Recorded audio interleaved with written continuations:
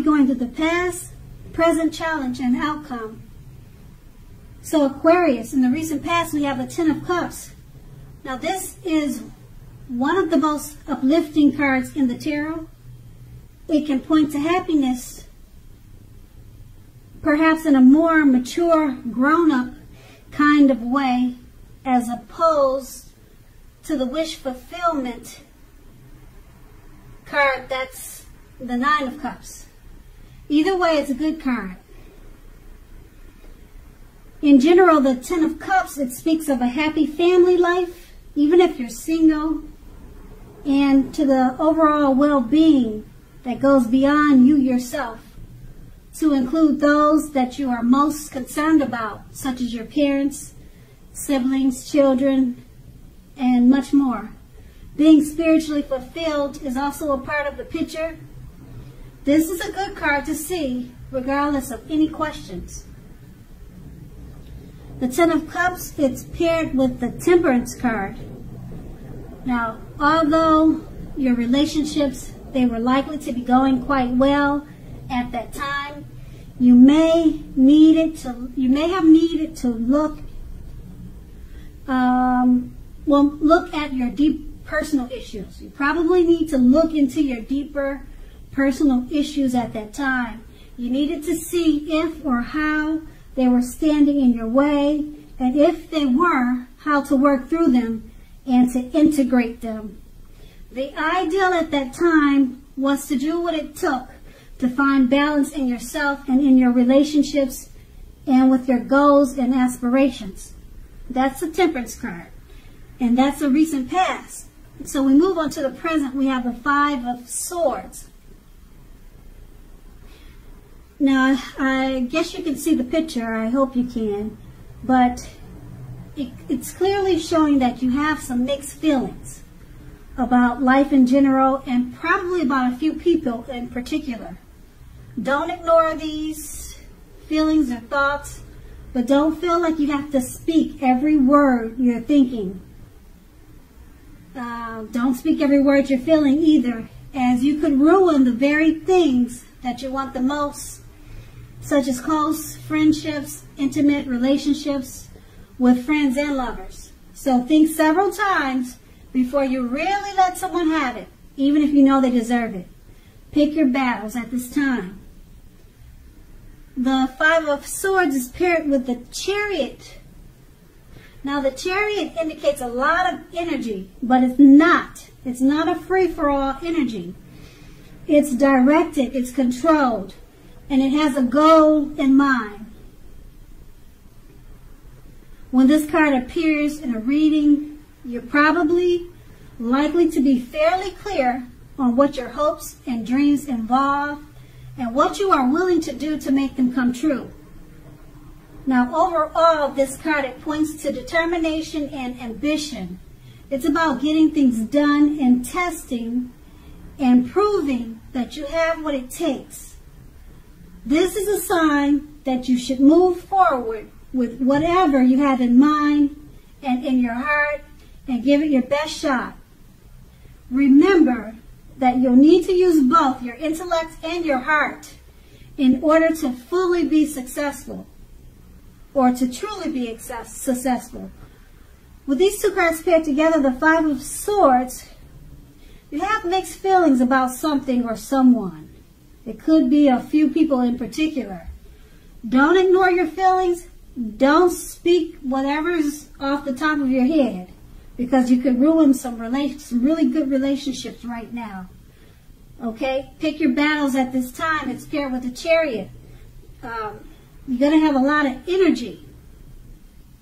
The energy is directed and controlled. Okay? It's about determination and ambition. Um, because it's paired with the Five of Swords, you've got mixed feelings about this energy. You got a lot of energy, and it's just making you want to do more things. And the energy is directed and, and it's controlled with um, you're, fa- you're fairly clear on what your hopes and dreams involved, but you've got mixed feelings. So you're not sure, really not sure on which way to take whatever you're trying to do or whatever you're trying to accomplish. And you could have some mixed feelings about a few people that's really bothering you right now. And you want to speak your mind, but it's, saying to have di- direction and control those thoughts with the chariot. Um, because it's going to be important that you don't lose your lover and your friend at this this time. You want to say some things, but you kind of have to bite your tongue right now. Just let some things cool down before you really let somebody have it right now. Um, use the chariot's method of directed and control energy.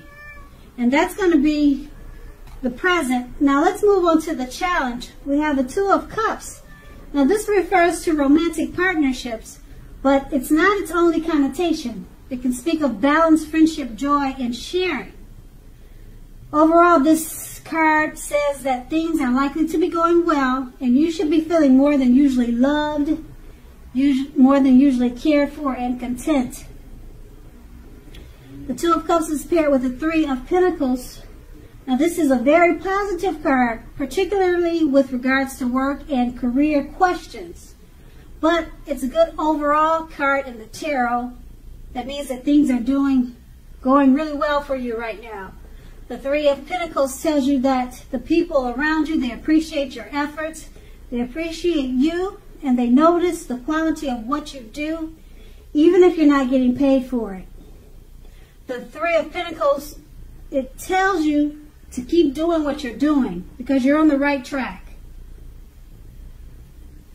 At this time, you will not need to scrap something, then restart it. You will not have to do that because you're on the right track. With these two cards paired together, the Two of Cups, it's a very romantic, it's a very uh, good romantic partnership.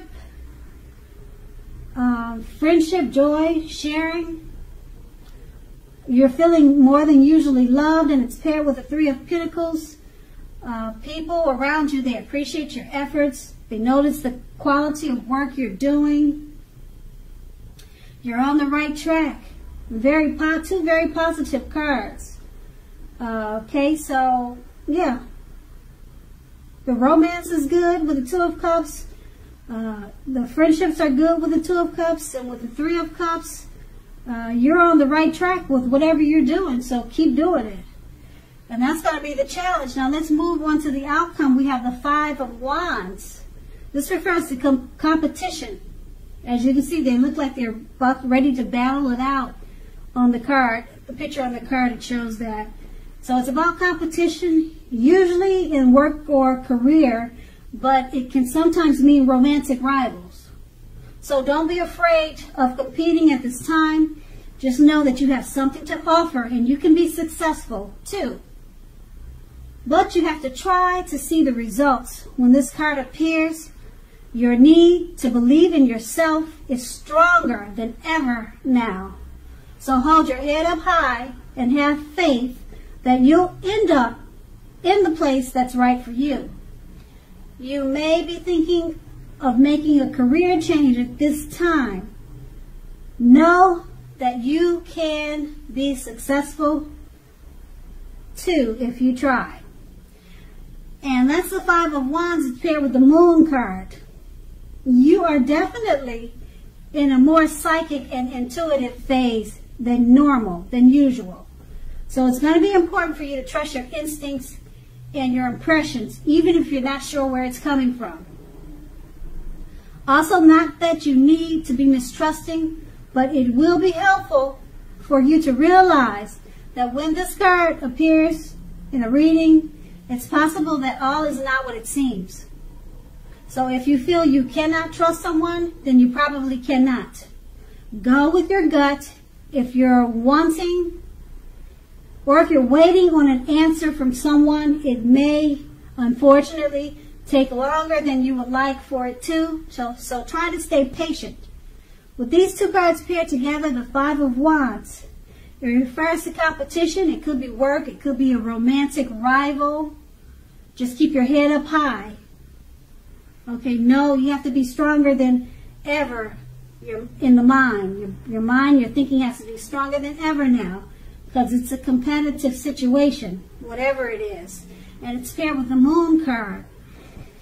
You're feeling psychic about the competition. Okay, your instincts and your impressions. Go with your instincts and impressions regarding this competition and you'll come out on top because your instincts they're they're really high they're really at a very intuitive phase now okay if you feel something's not right or something's not like it should be you're probably right. Go with your gut instincts during this competition. Okay and make sure you try to stay patient. Because um, for the competition to finish or for it to come to completion, it's going to take longer than you would like for it to. So you'll be battling it out longer than you really want it to, to, to go to war. So um, that's with the moon card and the five of wands. And that's the outcome. So Aquarius, I hope this resonate. As you know, general readings, they do not always resonate with everyone. Then again, if you like this reading, please like, subscribe, leave a comment if that's what you care to do. I thank you so very much for watching and have a great day.